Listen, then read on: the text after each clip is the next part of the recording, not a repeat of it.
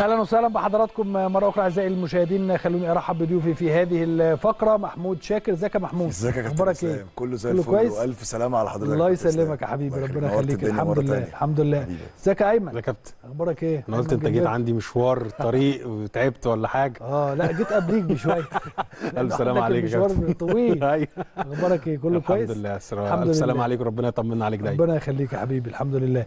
خليني أبدأ معاك يا محمود ومكاسب النادي الأهلي من مباراة القطن مباراة القطن يا كابتن إسلام هي عودة للمسار الصحيح مرة أخرى. النادي الأهلي تدارك آه، أخطاء اللي كان آه بس بما إنك بت... قبل بس ما نكمل كلامنا بتقول عودة للمسار الصحيح. أنا بشوف النادي الأهلي ماشي بطريقة جيدة أنا قصدي. عودة للمسار الصحيح. لأنه ماشي دي. حاجة. تاني حاجة إنه من المتوقع جدا إن النادي الأهلي يفوز بنسبة كبيرة جدا أكتر من على القطن الكاميروني في مصر.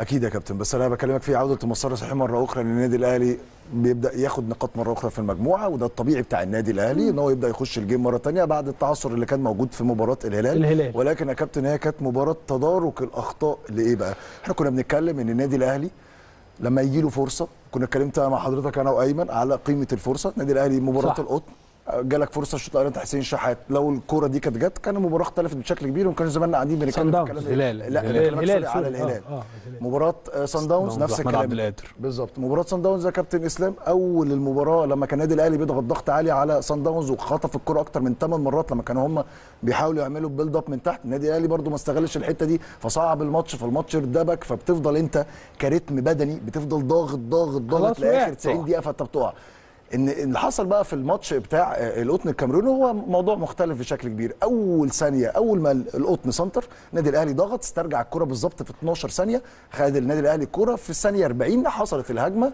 آه، من الناحيه الشمال اللي هي كانت كربونه وكانت نمط معين بيقوم بيه مارسيل كولر سواء على الجانب الشمال أو على الجانب اليمين وأدوار قندوسي وأدوار ال- التبادل المراكز اللي بتبقى ما بين ال wing وما بين ال back. وشفنا النادي الأهلي في أول دقيقة بيحرز محمد شريف الهدف. وبعد كده كابتن إسلام النادي الأهلي رتم هدي خلاص بيلعب بثقة بهدوء مش مستعجل على حاجة جاب الجون الثاني وشفنا. الناس كانت بتتكلم تقول إن أداء النادي الأهلي في الشوط الثاني ما كانش بنفس الجودة بتاعه الشوط الأولاني.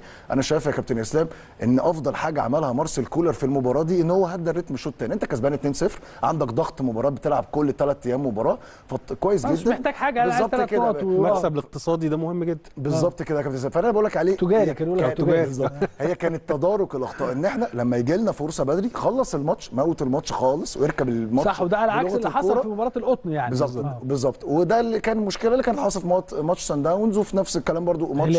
وخد بالك يا كابتن اسلام برضو آخر آخر مباريات النادي الأهلي تعثر فيها دايما كانت ال ال ال الاهداف اللي بتخش النادي الأهلي كانت دايما في آخر 10 دقائق وده آه. كان زي ما بقول لك كابتن إسلام أنت بتلعب بريتم عالي طول المباراة بحثا عن الفوز أو بحثا إن أنت تحافظ على النتيجة. مارسيل كولر اللي عجبني فيه اول مباراه اللي فاتت إن هو ما فضلش كابس ودايس بنزين لحد الآخر هدى الريتم بشكل كبير جدا. الشوط الثاني قدر إن هو يجيب الجون الثالث وموت المباراة تماما وإن هو ما استنفذ ما استنفذش اللعيبة بتاعته في الأمور البدنية. فهي كانت مباراة مهمة جدا جدا جدا للنادي الأهلي. ولكن يا كابتن إسلام هي كانت القصة كلها إن القطن الكاميروني للأسف شكله بنسبة كبيرة هيكون الكوبري اللي موجود في المجموعة لأنه خسر الثلاث مباريات كلها على أمل إن شاء الله إن هو يعمل أي تعثر لباقي الفرق في المباريات الثلاثة المتبقيين إن شاء الله. ولكن يا كابتن اسلام مباراة كانت مباراة الاثنين بس. مش إيه، لا لا ولكن يا كابتن اسلام. كانت مباراة رائعة من النادي الأهلي والنادي الأهلي خد منها اللي هو عاوزه يا كابتن اسلام في ظل ضغط المباريات دي. ما تسألش على أي حاجة غير إن أنت عاوز تكسب فقط وده اللي كان مهم. أيمن. يعني نكمل من كلام آه شاكر إن قندوسي. أنا شايف إن واحد من أهم مكاسب المباراة آه وجوده إن هو بيلعب ال 90 دقيقة تقريبا دي أول 90 دقيقة يلعبها بشكل آه كامل. آه في أفريقيا كمان. أنت كنت محتاج الكواليتي ده من من اللعيبة. آه مع علي معلول إن أنت الاثنين الحتة دي إن الاثنين في الناحية الشمال زي ما بنستعرض أهو أرقام آه القندوسي أرقام مميزة جدا. وكمان هنشوف الخريطة بتاعت الحرارية بتاعته اللي هي تحركاته وخريطة الأماكن اللي لمس فيها الكرة كابتن إسلام كلها في أماكن هي يعني في فترة كان النادي الأهلي كان محتاج حد في الحتة دي جنب علي معلول يسند عليه لأن معلول فعلا من اللعيبة اللي استنفذت آه، بدنيا أخطأوا فكرة إن هو آه، فقدان الكرة بتاعه على مدار 90 دقيقة ثلاث مرات بس للعيب وسط ملعب ده كواليتي كويس جدا بيساعد طبعا. آه، حمدي فتحي ويساعد كمان لما يرجع عمرو السوليه في وجود ديانج ومروان عطية. فأنا شايف إن القندوسي واحد من أهم مكاسب ال- المباراة بالإضافة علي معلول اللي طبعا لما بيضيع ركلة جزاء كابتن الناس كلها يعني إيه بتركز معاه. آه والامانه هو مجهد بقاله فترة مجهد وتعبان جدا. طبعا. آه ف إن يعني نتمنى بقى إن المباريات اللي جاية تساعد إن علي معلول يريح. يعني برضو إن أنت علي معلول واحد هو تقريبا كابتن إسلام. بصراحة. لا كابتن إسلام أنت النهارده أكتر واحد مساهم في الأهداف بتاعت النادي الأهلي وعلي معلول. صحيح. فالنهاردة أنت لما بتريحه وبيحصل أي تعثر أول حاجة بتيجي في دماغك إيه؟ أنزله يحل لي فالنهاردة تولي المباريات ده يتعبه. فأنا شايف إن قندوسي واحد من أهم مكاسب المباراة.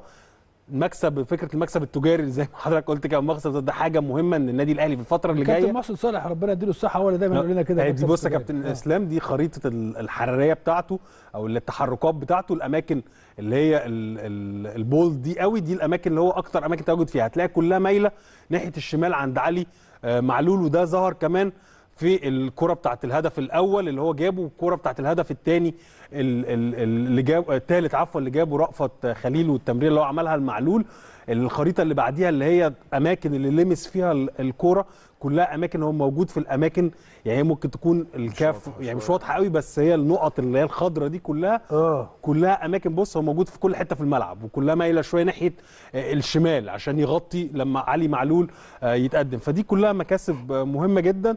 يبقى إن النتائج بعد كده آه، تخدمك ولان آه، آه، الموضوع صعب للأمانة. طبعاً. آه، عشان يبقى بإيدينا لازم إحنا نكسب القطن بره يعني بعيدا طبعا مباراة سان داونز طبعا الأول.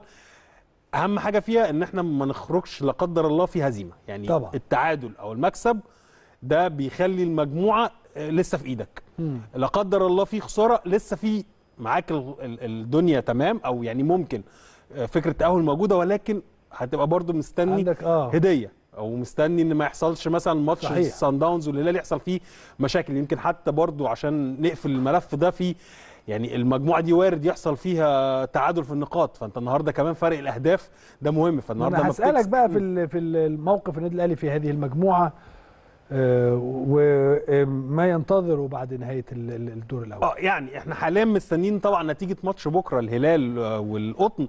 في السودان نتمنى يحصل فيها مفاجأة لأن القطن يعني واضح تمام مستواه صعب جدا يا كابتن اسلام يعني فريق خسر أصلا أول ماتشين على ملعبه 3 1 و2 1 و2 1 والماتش اللي لعبه أول ماتش لعبه بره ملعبه مع النادي الأهلي 3 0 فالنهاردة هو فعلا يعني الكوبري زي ما شاكر كده قال الكوبري بتاع المجموعة. فنتمنى إن فارق الأهداف إحنا يبقى دايما لصالحنا إن إحنا لما نروح نلعب القطن هناك نستغل نلعب على العامل ده آه، بتاع فرق الأهداف لأنه من العوامل اللي بتحسم لو النهارده حصل آه، في نعم. مثلا إن النقاط متساوية سواء في تحديد المركز الأول أو حتى المركز الثاني المواجهات المباشرة نركز وإحنا رايحين مع سان داونز في. حتة النتائج المواجهات المباشرة لأن هي مهمة ممكن لو تعادلت في النقاط مع سان داونز تلجأ لحتة النتائج المباشرة النهارده مع الهلال المباراة الأخيرة برضو وأنت بتفكر في الحسابات أنت خسرت 1-0 فعشان تكسبه تحاول تكسبه 2 ما أو ثلاثة عشان خاطر النتائج المباشرة والأهداف والحاجات دي لأن دي كلها ممكن تبقى حسابات موجودة معاك فأنت تبقى عامل حسابك على كل آه السيناريوهات يعني. طيب آه، برضو يا شاكر يعني عايزين ناخد الحالات اللي اتلعبت في مباراة الحالات الهجومية اللي لعبها قبل قبل ما نتكلم. على حالات يا كابتن مارسيل كولر إدار مباراة جيدة جدا جدا من الناحيه الفنية في مباراة القطن الكاميروني هو عارف إن القطن الكاميروني ما بيلعبش low block بيلعب medium block بيزق شوية خط الدفاع بيزق شوية لحد فوق ال 18 كده فدي بتسيب مساحات كبيرة جدا للنادي الأهلي فكان دايما يا كابتن آه، إسلام مارسيل كولر بيعتمد على اللامركزية وتبادل المراكز ما بين ال wing وال back وما بين القندوسي اللي كان ليه دور مهم جدا جدا. معلش قبل ما نبدأ هنا بالحال بص يا كابتن إسلام هنا دي آه، ده الهدف الأول النادي الأهلي بص فوق في الثانية 41 هنا اللي معاه الكوره ده علي آه، معلول. هتلاقي بص يا كابتن إسلام معلش نرجع ال frame اللي قبله. هتلاقي الاثنين اللي, اللي عليهم دايرة. ده حمدي فتحي وده القندوسي. يبقى كده النادي الأهلي في طريقة الكورة معاه بيلعب 4 1 2 3 القندوسي شايفينه هو حمدي فتحي الكورة مع علي معلول. عاوز أوريك كابتن إسلام تحركات القندوسي وطاهر محمد طاهر وعلي معلول والسويتشات اللي بتتعمل. شوف ال frame اللي بعده. القندوسي هنا يا كابتن بينزل عاوز ياخد الكورة من آه علي آه عفوا طاهر محمد طاهر عاوز ينزل ياخد الكورة من علي معلول. هيسحب معاه ال back right بتاع القطن الكاميروني عشان المساحة تتفضى للقندوسي اللي جري في المساحة الفاضية. ولكن ما بيلعبهالوش علي معلول. نشوف ال frame اللي بعده هيعمل ال double pass تاني هيطلع الكورة على طول آه، طاهر محمد طاهر ال frame اللي بعده هيطلع الكورة تاني يا كابتن إسلام لعلي معلول. شوف ال frame اللي بعده. عاوز أوريك بس حتة يا كابتن إسلام. شوف هنا القندوسي نكمل ال frame اللي بعده. القندوسي هياخد الراجل ويطلع بيه بره يا كابتن إسلام عشان يسيب المساحة لمحمد شريف. الكرة تتلعب في ظهره. بص بقى ال frame اللي بعده يا كابتن إسلام. هتشوف هنا بص محمد شريف هيبتدي يتحرك فين؟ في الحتة اللي القندوسي خد فيها الراجل بتاع نص الملعب وزقه لقدام شوية. الفريم اللي بعده تلاقي محمد شريف بيتحرك في المساحة الفاضية بيلعب له على طول علي معلول الباس طبعا طاهر محمد طاهر أكتر من رائع في الزيادة العادية. محمد شريف هنا يا كابتن إسلام بيسلم طاهر محمد طاهر وتحية كبيرة قوي لمحمد شريف. ده كنا بنتكلم فيه. مجرد ما لمس الكورة ودي كانت ميزة من مميزات كهربا يتحرك على طول جوه ال 18 وبص هنا يا كابتن مهارة محمد شريف إن طاهر محمد طاهر أول ما قطع محمد شريف عارف كويس جدا إن ال back pass لو اتعملت الزاوية ضيقة. فمحمد سري... محمد شريف فرمل علشان ياخد الكورة براحته خالص ال frame اللي بعده بياخد الكورة يا كابتن بيستلمها بيمينه وبيحط بشماله ويحرز النادي الأهلي الهدف الأول. طيب الكلام ده يا كابتن اسلام كان بيتم على الناحية الشمال بس؟ لا الكلام ده كان بيتم على الناحية الشمال وعلى الناحية اليمين. هنا يا كابتن اسلام برضو نفس الموضوع. بيرسي تاو هو اللي تحت خالص آه، عندنا هنا عند الكادر واللي. معاه الكورة محمد هاني. بص على القندوسي يا كابتن اسلام. بص بيرسي تاو أول حاجة نفس التريكة اللي عملها طاهر محمد طاهر. هياخد ال back left بتاع القطن الكاميروني ويطلع بيه لبره. نشوف ال frame اللي بعده. أول ما بيرسي تاو خد الراجل اتحركت. بص يا كابتن القندوسي راح فين؟ في المساحة الفاضية. فاضي. ولكن طبعا حصل فاول الكورة ما كملتش. أنا جايب لك بس الحالة دي أوريك كابتن إسلام إن ده اللي النادي الاهلي كان بي بي بيلعب عليه. وزي ما انت شايف القطن الكاميروني زاقق لحد بعد ال 18 بشوية عشان النادي الاهلي ده سهل على كتير جدا على النادي الاهلي. نشوف الكرة اللي بعدها يا كابتن وهو ال- ال- الحالة بتاعه الهدف للنادي الاهلي. نفس الكلام برضو يا كابتن إسلام بيبتدي الهجمة من تحت نكمل الكرة. ده ياسر إبراهيم. نشوف ال frame اللي بعده. بص يا كابتن اسلام برضو هنا اللي معاه بص يا ايمن برضو مع كابتن اسلام هنا اللي عليه الدايرة ده برضو القندوسي سحب الراجل نص الملعب بتاع القطن الكاميروني. نكمل ال frame اللي بعده. هنشوف ياسر إبراهيم بيزق الكرة على الناحية الشمال خالص. موجود علي معلول وطاهر محمد طاهر والقندوسي ساحب الراجل عشان المساحة الاثنين اثنين بين الاثنين center back يا كابتن إسلام فاضية تماما. نكمل ال- الصورة اللي بعدها. هنا هيطلع ياسر إبراهيم الكرة لطاهر محمد طاهر. وعاوزك بقى بص يا كابتن إسلام لولا إن القندوسي خد الراجل وطلع بره بقى محمد شريف لوحده مع ال center back صحيح. نشوف ال frame اللي بعده. أول ما طلع الكورة هنا لطاهر محمد طاهر علي معلول الأكتر من رائع طبعا هيعمل معاه ال overlap هيجري من وراه. وعاوز أقول لك بص يا كابتن إسلام أول ما طاهر محمد طاهر وعلي معلول قاموا بالزيادة العددية على الناحية الشمال ال back right بتاع القطن الكاميروني اضطر إن هو يبيع مكانه ويطلع يقابل علي معلول. هو ده اللي شوف- هو عايزه بالظبط اللي هو. عايزه كولر بالظبط يعني. كده. نشوف ال frame اللي بعد. أول ما هو الباك ساب فبقى محمد شريف كان معاه واحد من ال center back اول نشوف ال frame اللي بعده. أول ما علي معلول هيقرب ال center back هيبيع. نفسه ويروح يقابل علي معلول. تتخلق المساحة الفاضية لمين يا كابتن إسلام؟ شريف. للقندوسي. لا ده القندوسي آه، بقى اللي جاي. القندوسي، صح. نكمل ال frame اللي بعده عشان الكورة تتلعب over يا كابتن. وسابق الراجل لأن اللي جاي مغطي معاه ده بقى يا كابتن. ده ال back left للناحية الثانية كل ده بسبب اللامركزية اللي كان بيلعب عليها مارسيل كولر والتبادل المراكز وتبادل الأدوار ما بين حتى لعيبة ده, النادي ده, الأهلي. ده شادي حسين تقريبا اللي كان شريف آه ده صح صح. ده كان شايف حسين، هو آه، اللي آه. سحبه صح. دي برضه هنا أنت حتى اللعيب اللي بينزل هو نازل بنفس التعليمات. نفس التعليمات ما هي في الآخر أنا بعمل جملة فكرة. واحدة. آه. بالظبط هي فكرة. فهي النهارده دي الميزة في الماتشات اللي زي دي يا كابتن إسلام وأنت لعبت القطن أنت لعبت القطن بقى في, أجواء أسوأ آه، من كانش ملعب كده في النهائي بتاع والله. 2008 فدي ميزة. النهارده حضرتك لما لعبت القطن في نهائي 2008 كان الملعب صعب الأجواء صعبة صعبة. وكل حاجة صعبة وتعادلتوا 2 2 أوتيل. وكنت متقدم وكنت عاوز أضيف بس حاجة كمان يا كابتن. برضه يا كابتن دور صفقات النادي الأهلي. الناس كانت بتقعد تهاجم تقول أصل ما فيش مهاجم. يا جماعة طب واللي عندنا لعيبة نص الملعب دول إيه؟ الراجل بقى عنده ما شاء الله كم من البروفايلات المختلفة في نص الملعب وكل اللي بينزل بيقدم لك. مروان عطية كابتن إسلام بينزل المباراة اللي فاتت بيقدم أكتر أداء أكتر من رائع.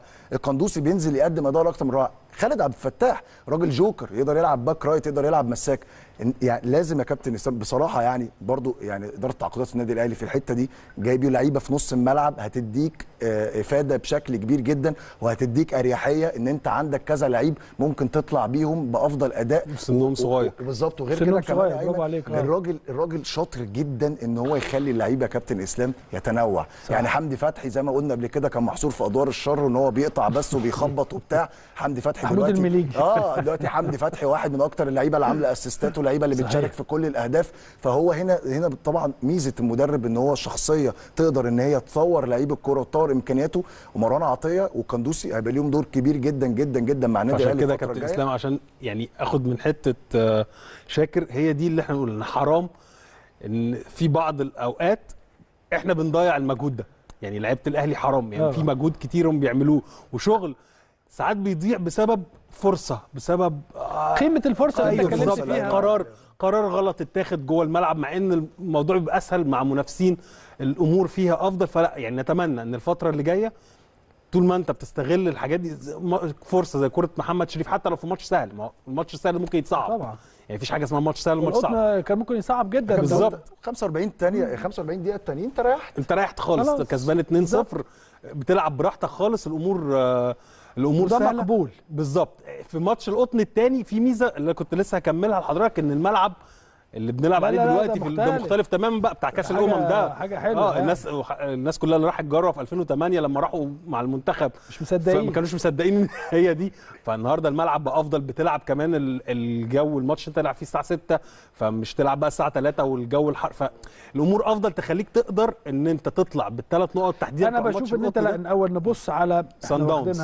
خطوة أربعة خطوة. steps أربعة أربع خطوات الخطوة الأولى انتهت الخطوة الجاية مباراة سان داونز بعد سان داونز نبص للخطوة اللي بعدها. لأنه في النهاية ال- البطولة الأفريقية لها حسابات بقى طبعاً، يعني هنبقى طبعاً. نتكلم فيها في وقتها عموما خلونا نطلع فاصل وبعد الفاصل كيف يلعب المقاولون العرب أمام النادي الأهلي بكرة أهلا وسهلا بحضراتكم مرة أخرى أعزائي المشاهدين. أيمن آه، كيف يلعب المقاولين العرب أو أرقام المقاولين العرب؟ خلينا نبدأ. يعني المقاولين الموسم ده كابتن إسلام أو تحديدا كمان مع كابتن شوقي غريب عاملين حالة. صحيح. حالة حلوة جدا.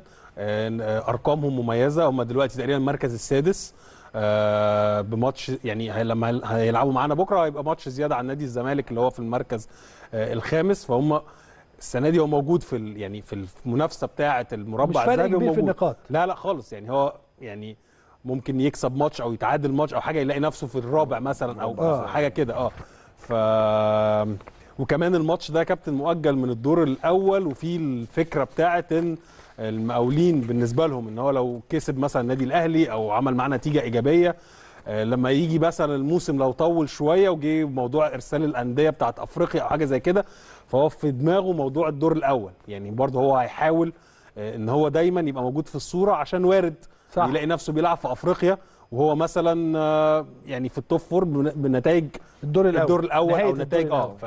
فالمباراة دي بالنسبة له مهمة طبعا. مهمة جدا يعني مش مجرد مباراة بثلاث نقاط قدام النادي لا هو كمان في حلم بتاعه ال- المقاولين مع الكابتن شوقي غريب عموما بيلعبوا بال 3 5 2 بمشتقاتها يعني ممكن نلاقي 5 4 1 3 يعني المهم إن في ثلاثة مساكين صراح بيلعبوا آه، في الخط الخلفي وده مديهم قوة شوية دفاعيه ان المقاولين العرب لو هنس... لما هنستعرض أرقام كابتن إسلام فريق من الفرق اللي هي أقل فرق دخل فيها أهداف في الدوري عموما بشكل عام آه، فرقة آه، عندهم كمان 8 أرقام يا clean آه سمحت. عندهم 8 clean sheet آه، في في الدوري ده رقم كبير قوي جدا. كو- كويس لفرقة آه، يعني المقاولين الس- السنة اللي فاتت كانت آه، بت- بتنافس على الهبوط يعني فريق بينافس على الهبوط السنة دي موجودين في دائرة ال- ال- المنافسة من أقل الفرق اللي خسرت ماتشات السنة دي.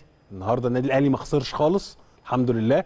بيجي بعديه فيوتشر خسر مباراة بعد كده بيراميدز المقاولين العرب خسروا ثلاث ماتشات. فده رقم آه، مميز جدا. عندهم آه، استقبلوا 17 هدف. في الأرقام لما هنعرضها في حاجة اسمها ال- الأهداف الم... بنتكلم دايما يا كابتن إسلام على الأهداف المتوقعة للمهاجمين أيوه. أو للفرقة. لا في حاجة اسمها أهداف متوقع إن أنت تستقبلها. الأهداف المتوقع إن أنت تستقبلها دي آه، المقاولين العرب عليه 40 كورة. 40 كورة كان متوقع إن هو يستقبلهم كأهداف. يعني دي ال ال الأرقام بشكل عام. ات- جالهم ثلاث ضربات جزاء سجلوها.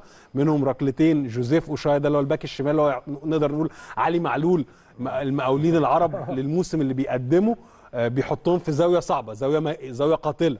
فوق في في الزاوية اللي هي فوق دي على الشمال تقريبا بتاعته رهيبة.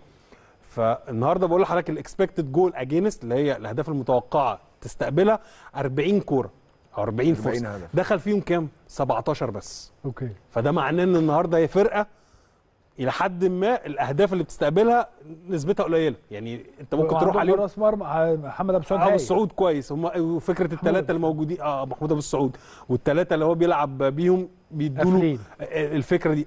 في المباراتين اللي هو مع الفرقتين اللي هم الكبار بينافسوا. بنتكلم الزمالك وفيتشر خرج 0 0 ماتش الزمالك كان هو كمان بيلعب بنفس الطريقة دي وكان ليه الغلبة في الهجوم. كان أهدافه المتوقعة. عاليه فهو النهارده المقاولين العرب بشكل عام فريق جيد جدا فريق آه، بيعرف يقفل كويس وبيحاول إن هو يخطف. فكرة يعني برضو جوزيف أوشايا لو هنستعرض أرقامه قبل ما لأن هي أرقامه هتبقى مرتبطة بالحالات اللي شاكر هيجيبها لأن هو لما بيلعب بالثلاثه دي هو بيسيب الثلاثه ورا. أوشايا ده بقى بينطلق يا كابتن. بص يعني بنتكلم النهارده 1650 دقيقة. لو ترجمناها بالمباريات هو لعب 17 ماتش من 19 okay. آه، جايب خمس تجوان يعني back شمال جايب خمس أهداف يعني عشان كده بقول لك علي منهم كام معلول ده ركله جزاء اثنين okay. آه، صنع جون يعني بنتكلم صناعة الفرص كمان 12 فرصة. آه، المحاولات بتاعته اللي على المرمى دقة تمريراته معقولة. آه، المراوغات بتاعته بص هو back left من 19 محاولة للترقيص رقص 10 مرات وعدى. الكرة الثانية بياخد الكرة الثانية في ال- في الحالات الدفاعية بتاعته بشكل كويس. فهو كلعيب ك quality لعيب وبيلعب في منتخب أوغندا يعني منتخب أوغندا آه، استدعاه عشان ال- ال- الفيفا date اللي جاي فهو ك quality لعيب في الدوري المصري في ال back الشمال واحد من اللعيبة المميزة جدا ومفتاح لعب مهم جدا خصوصا في الثلاثه ولما بقى هتلعب مع فريق زي النادي الأهلي بالنسبة للمقاولين فريق بيلعب كرة. هجومية وكرة آه. مفتوحة فالنهاردة زي يعني الماتش اللي الماتش اللي هو ظهر فيه والناس ركزت معاه كان ماتش الزمالك 0 0 لأن هو كان عامل خطورة من الناحية صح. الشمال على نادي الزمالك قوية جدا ولولا التوفيق كان وقتها كان ممكن المقاولين يخرج. الماتش ده كسبان 2 0 آه، أو حاجة زي كده والكرات كلها من الجبهة اليسرى. فهي دي كلها الفلسفة بتاعت المقاولين.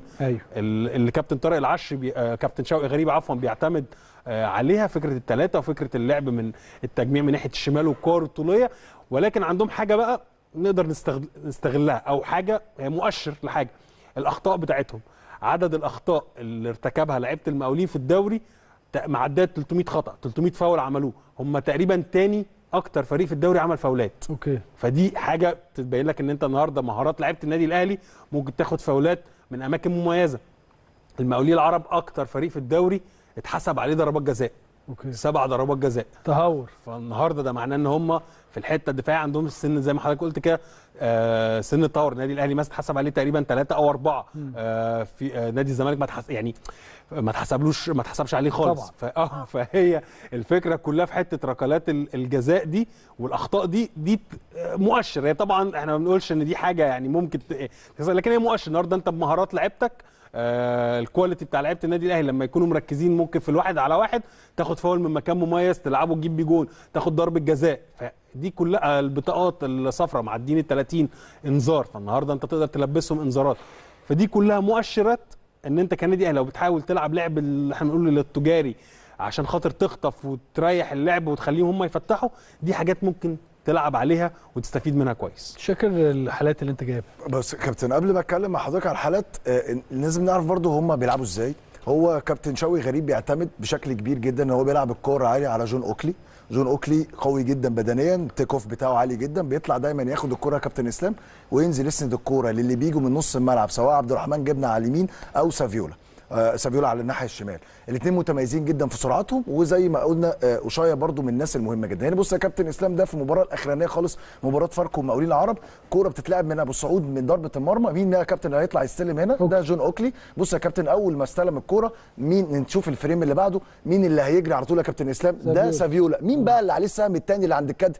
اللي لسه بالظبط كان بيتكلم عليه أيمن اللي هو أوشايا واحد من أهم اللعيبة اللي موجودة. بص يا كابتن على طول بيلعب الكورة في دار الد- الدفاع. دي هو هنا back left كده هو هو هو هنا بقى خلاص هنا بقى بيقوم بقى back الفكرة left. بتاعت الثلاثه هي بتحرك زي كده قدام. زي. جيلبرتو كده. زي أنا إن مع هو يبقى. واخد شوف يا كابتن دي كانت هجمة خطرة جدا جدا للمقاولين العرب نشوف برضو يا كابتن كرة تانية هنا برضو آه، المقاولين بيحاول يبتدي من تحت نشوف آه، نكمل ال frame اللي بعده هيلعب الكرة عالية برضو مين طالع يستلم يا كابتن okay. إسلام برضو آه، جون أوكلي ومين اللي نازل ياخد الكرة منه بعد ما الكرة تنزل ال second ball نكمل ده برضو عبد الرحمن جبنة هيلعب ال pass وكان شبه وده على فكرة كابتن ده الهدف اللي أحرزه آه، نادي المقاولين العرب في نادي فاركو. بص بقى يا كابتن هنا الزيادة العددية اللي موجودة دايما. هو كابتن شوقي غريب بيلعب على ال second ball الكرة معلش نرجع frame لحظة. نرجع frame لحظه أول ما ال second ball يا كابتن آه، خالد آه sorry يا كابتن بتنزل. على طول بيجري على طول عمر سافيولا عبد الرحمن جبنا عشان يعمل ال over وبتلاقي على طول يا كابتن إسلام زيادة عددية دايما جوه ال 18 ودي ميزة من مميزات الكابتن شوقي غريب مع المقاولين العرب. فلازم يا كابتن إسلام إن مباراه بكرة جون أوكلي أي كورة تتلعب عالية لازم النادي الأهلي لعيبة نص الملعب سواء حمدي فتحي أو علي ديانج أو سواء حد من المساكين يطلع ياخد منه الكورة علشان ما يسمحش إن ال second ball تنزل ويبقى في دربكة. نشوف ال- الكوره اللي بعدها. برضو الكوره دي الكوره الحلقة الأخرانية قبل ما ادخلك في مشاكل النادي المقاولين العرب. برضو يا كابتن دي كوره على الأرض بشكل كبير برضو. وشاي يا كابتن هو اللي مبتدي الهجمة. ونشوف برضو جون أوكلي هو اللي بيستلم آه، هينزل يستلم منه. نشوف ال frame اللي بعده. بص يا كابتن إسلام أول ما شاي يديله الكوره نكمل برضو الفريم اللي بعده. بص يا كابتن إسلام وشاي بيجري على طول ياخد الخط. جون أوكلي هيطلع له الكوره نكمل برضو ال frame اللي بعده ونسيب الكرة تمشي عادي. بص يا كابتن هياخد المساحة ويجري. الراجل بيزق سريع جدا جدا جدا جدا. والناحية الثانية بيعمل ال over. واحدة برضو كانت من أخطر الهجمات اللي كانت موجودة لنادي المقاولين العرب وطلعت بره. ولكن يا كابتن إسلام هنا بقى قبل ما قبل ما نخش في الحالات دي يا كابتن إسلام. آه نادي آه نادي المقاولين يا كابتن إسلام بيلعب 3 5 2 آه فاروقة ده اللي بيلعب ليبرو. فاروق اللي بيلعب ليبرو ده عنده مشاكل كبيرة جدا جدا جدا في الطلوع بالكورة وعنده مشاكل كبيرة جدا لما حد بيضغط عليه. أرقامه كانت سيئة جدا وأرقامه عموما سيئة. اللي كان بيلعب مكانه عمر فايد ولكن هو اللي لعب المباراه بص يا كابتن دي كورة ميتة خالص لنادي المقاولين العرب. نشوف ال frame اللي بعده. الراجل بيتضغط عليه من عمرو جمال. بيقع يا كابتن لوحده خالص بشكل كبير والكورة بتتحول لنادي فاركو عشان تكون شبه انفراد وفعلا والكورة بتضيع. كورة تانية برضو. نشوف يا كابتن اسلام بص الكره الثانية بقى عاوز أقف عند الكرة دي يا كابتن ودي ضربة الجزاء اللي اتحسبت على نادي المقاولين العرب في الدقيقة 91 واللي بسببها نادي آه، المقاولين العرب خسر المباراة. لا نرجع بقى فريم واحدة قبل ما نلعب الكرة دي. بص يا كابتن اسلام هنا عمرو جمال هيطلع ياخد الكورة. عاوز أوريك آه، آه، فاروق ده المفروض إن هو سابق سابق ال forward بتاع نادي فاركو. أول ما الكرة بتنزل الراجل يا كابتن إسلام بيسبق ال- فاروقه شوف ال frame اللي بعده. الراجل بيسبق فاروقة. نكمل برضو ال frame اللي بعده. بص يا كابتن إسلام مدى التهور اللي عند الراجل.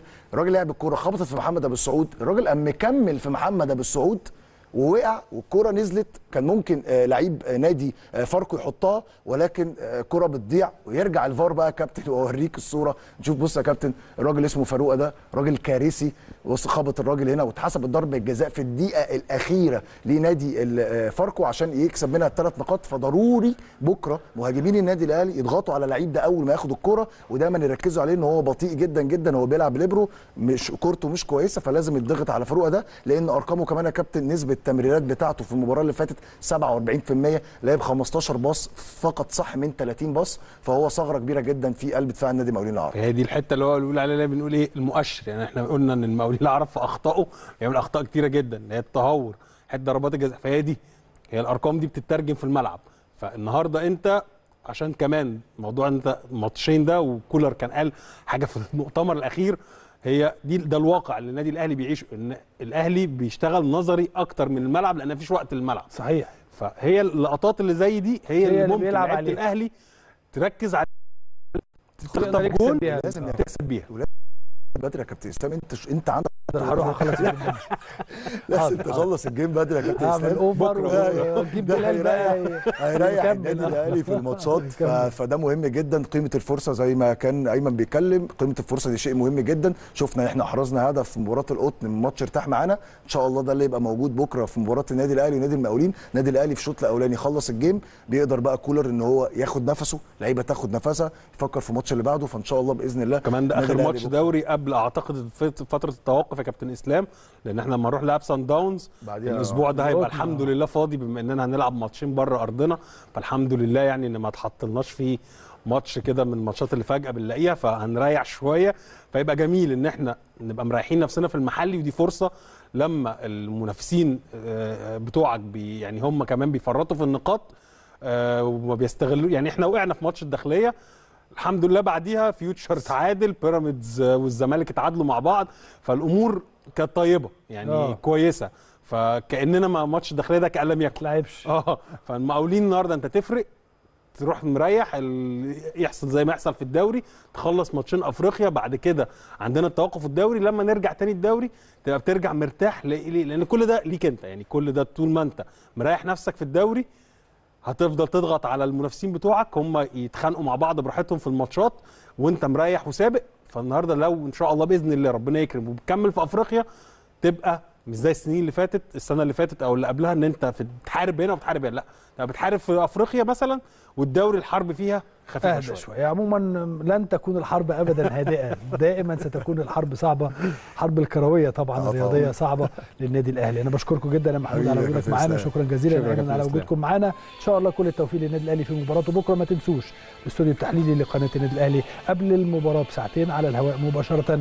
كل كواليس ما يحدث قبل بداية المباراة على الهواء مباشرة مرة أخرى مع حضراتكم على شاشة قناة النادي الأهلي.